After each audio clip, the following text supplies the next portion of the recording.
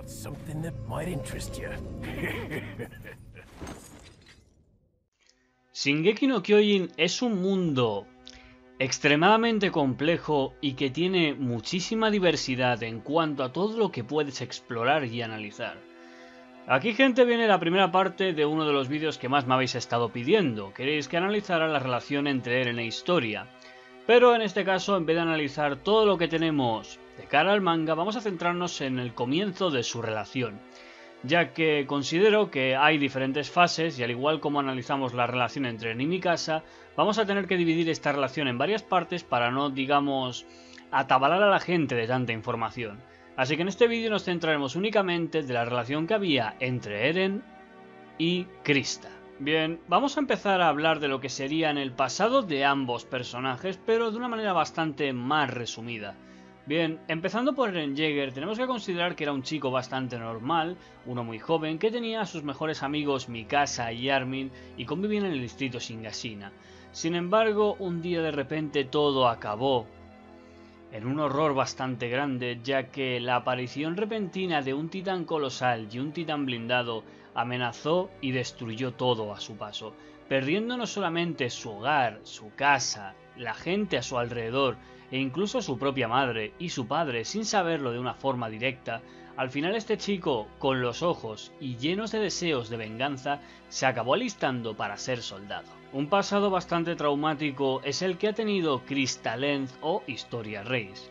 Bien, centrándonos en historia como tal, ella fue un fruto de prácticamente una relación que no estaba prevista, ya que lo que sabemos es que Rod Reis estaba casado y digamos que la única persona que podía entenderle era Alma Lenz, la madre biológica de Historia.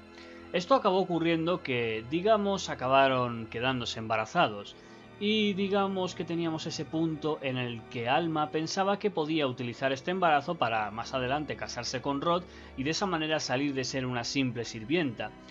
Pero al final todo acabó de una manera un poco más trágica y oscura, ya que el padre había desterrado a la familia Lent, pues prácticamente en territorios de los reyes, pero digamos alejados a la vez de la familia real. Más adelante cuando nació Historia, esta simplemente convivía con sus abuelos, los cuales pues le daban algo de conversación. Las máximas relaciones que tuvo Historia fue prácticamente con ellos, ya que su madre, a pesar de las visitas que hacía en ese lugar, digamos que realmente no tenía ninguna interacción con su hija, al punto de golpearla cuando ésta quiso lanzarse sobre ella.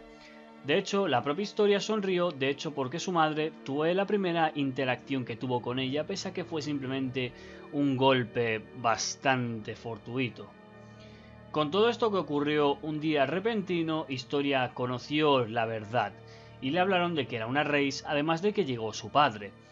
Todo esto simplemente para acabar matando Alma y de esta manera evitar que el linaje de los reyes fuese prácticamente corrompido o que fuese afectado de una forma negativa.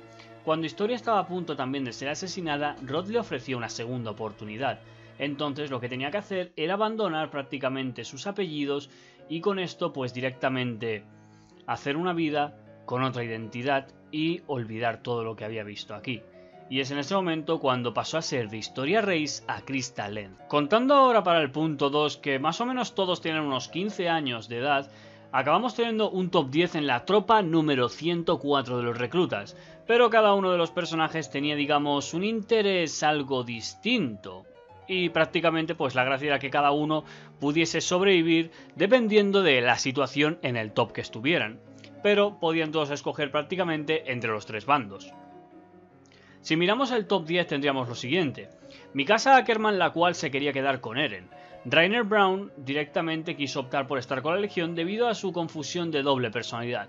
Berthold Hoover quería seguir con él prácticamente. Annie Leonhardt obtuvo por ir a la policía militar, mientras que Eren ya tenía bien claro que iba a ir a la Legión de Reconocimiento. Jan Kirsten en un principio quería ir a la policía, pero tras la muerte del siguiente, que es Marco, acabó volviendo a la Legión básicamente en señal de respeto y que no le gustaría tener una vida digna y buena a cambio de su propia vida y de los demás que han sacrificado. Connie Springer prácticamente decía y alababa que quería ser alguien fuerte y popular, mientras que Sasa lo, lo, hacía únicamente para tener más tierras, cultivos y, como no, ganado para seguir comiendo. Todos estos tenían un motivo bastante único, pero todos excepto la última, Crystal Lens, no tenía prácticamente un deseo que hacer. La única finalidad de Krista era simplemente ser de utilidad a todos los demás e intentar ayudarlos siempre que pudiera. Si vamos al tercer punto que sería el impacto en la serie, considero que la relación entre estos personajes, pese a que en ningún momento llegaran a tener apenas interacciones, ya que en todo lo que vimos de las primeras temporadas, Eren y Krista en estos momentos no se habían dirigido apenas palabras. Sí que es cierto que habían colaborado como equipos e incluso en una ova cuando Krista fue secuestrada, Eren fue el primero que dijo de ir a salvarla y que lo haría incluso si fuera solo pero esto es algo que podemos atribuir a la propia naturaleza de Eren, y con los detalles más adelante os lo entenderéis por qué. En cuestión del impacto, tenemos en cuenta que Eren es una persona bastante influyente, ya que prácticamente casi todos los de la tropa 104 del top le siguieron a la Legión del Reconocimiento, además de que bastantes personas le tienen en estima y lo consideran una futura esperanza. Pero también significó que esto atrajera la atención de nuevos enemigos, y esto acabó haciendo que Eren entrenase para poder enfrentar a los propios titanes. A pesar de que ha tenido bastantes bajones en la serie por su inutilidad, ha seguido progresando para querer darlo todo y seguir luchando hasta el final. Para la historia desde el punto de vista de Krista todo ha sido bastante diferente, ya que en cierta manera ella tenía una personalidad de chica buena y aunque Sí que es cierto que era una chica que atraía bastante, sobre todo al público masculino, por su belleza rubia, y siendo considerada como una diosa o una esposa perfecta, de hecho la máxima interacción que podemos ver de Krista era solamente porque estaba cerca de Ymir, y la única que buscaba ser utilidad para todos sus compañeros, queriendo ayudarles en todo momento. Ya para finalizar gente, vamos a lo que sería el qué piensan cada uno del otro. Tened en cuenta que esta parte 1 solamente nos abarca hasta el momento en el que Krista ya desvela su verdadera personalidad, y esto de cara a lo que vemos en las siguientes temporadas. Por ese motivo la parte 2 continuará ahí y ahora vamos a finalizar con básicamente el pensamiento que dijeron cada uno después de que por primera vez tuvieran una conversación algo más fluida. Si nos centramos en el punto de vista de historia, esta señaló que admiraba bastante a Eren, sobre todo por su forma de ser, siendo alguien sincero y expresivo y que prácticamente en sí no temía el propio rechazo. Hay que tener en cuenta que los dos eran considerados pues como una especie de monstruos, ya sea Eren por el poder que tenía de los titanes o Krista solamente por ser descendencia de la sangre real. Aún así, a pesar de que ella, con la ausencia de Ymir, ha demostrado que no sabía qué hacer y que abandonó la personalidad de Krista para ahora ser Historia Reis, podía decir que tenía cierta envidia por Eren.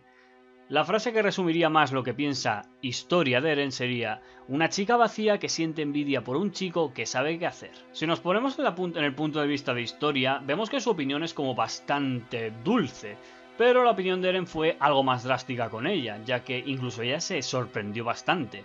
A diferencia de otros chicos, Eren no ve a Historia como la típica diosa, ni tampoco veía a la amable Krista, es decir, no tenía ese interés de sonrojarse por ella. Y de hecho, después de que hablara, Eren le confesó que ya la había estado observando, más o menos por lo que se nos da a entender, en el sentido de que Eren ha podido ver más allá de lo que hay ella, ya que sabía que se estaba forzando a ser quien no era, y a sonreír y hablar cuando prácticamente ella ni siquiera quería hacerlo.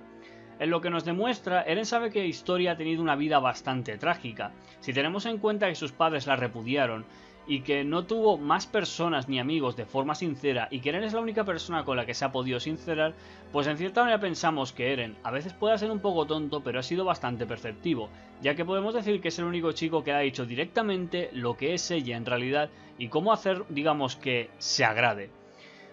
Más adelante podríamos señalar que la opinión más directa de Eren sería de un chico sincero que ha visto más allá de una chica que se considera vacía. Hasta aquí gente dejaremos el vídeo de la primera parte y después de aquí continuaremos en la segunda donde Historia ya tiene una personalidad más auténtica, ya no ciñéndose a lo que era Crystalline.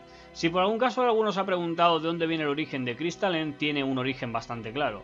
Lenz viene del apellido de Alma Lenz de su madre biológica, mientras que Krista es la protagonista del libro con el que leía con Frieda, ya que esta chica, aunque no la he mencionado en el vídeo, ha sido una persona bastante influyente en su relación y sobre todo para hablar, pero para desgracia, por el hecho de borrarle sus recuerdos, digamos que Historia no la acabó teniendo muy presente hasta que luego más adelante acabó sabiendo de su existencia.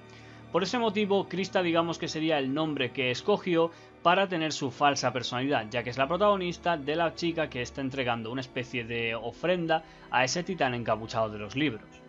Si quieres que saque la segunda parte pronto, ya sabes lo que tienes que hacer. Apoya por favor esta serie de vídeos y mis novelas en Wattpad. Además de que en Twitter puedes hablar conmigo, además de ponerme dudas aparte, además de estar pendiente de los cuestionarios que voy poniendo para los vídeos que tengan preferencia. En fin gente, gracias a todos y nos vemos en más vídeos. Muy buenas y hasta la próxima.